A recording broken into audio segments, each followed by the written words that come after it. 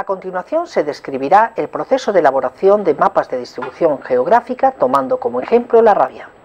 Para ello debemos acceder a la base de información zoosanitaria de la Organización Mundial de Sanidad Animal, que es WAHID.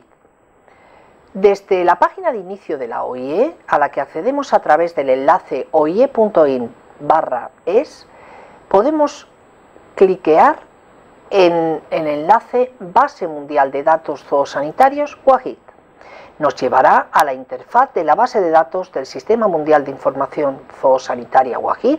Dentro de ella desplegaremos la pestaña Información Sanitaria.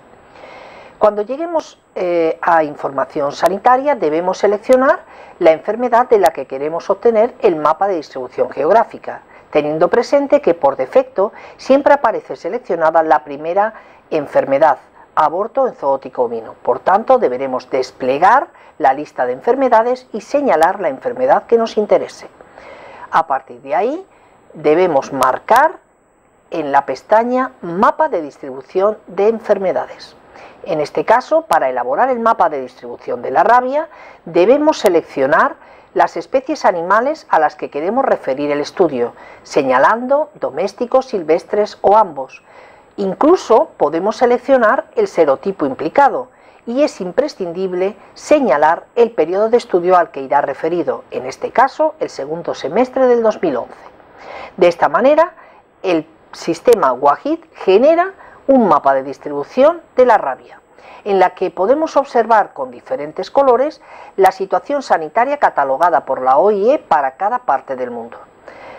En tonalidad blanca aparecen aquellos territorios que no han aportado información a la OIE en tonalidad verde fosforito cuando la enfermedad en cuestión nunca ha sido señalada, en tonalidad verde cuando en el periodo de estudio no se ha observado, en naranja cuando se sospecha, en rosa cuando la enfermedad está clínicamente, en morado cuando la enfermedad está limitada a una o varias zonas, en rojo todos aquellos eventos en curso e incluso en amarillo podemos ver la presencia del serotipo que hemos seleccionado.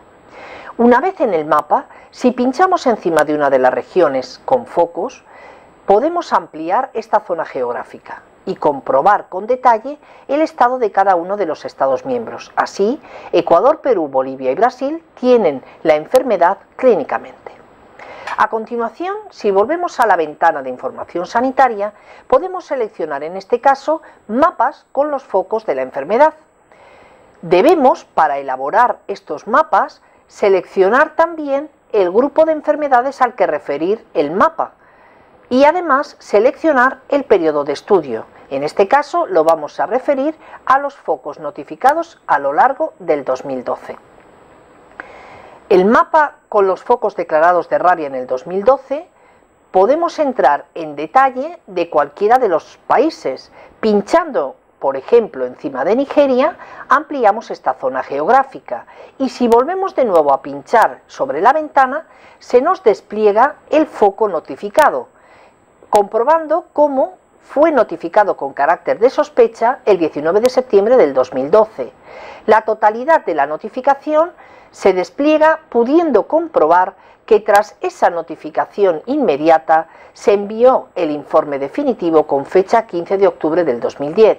Se trataba de un evento de presentación clínica del virus rábico, no estaba tipificado y del que se hizo el diagnóstico tanto clínico como laboratorialmente.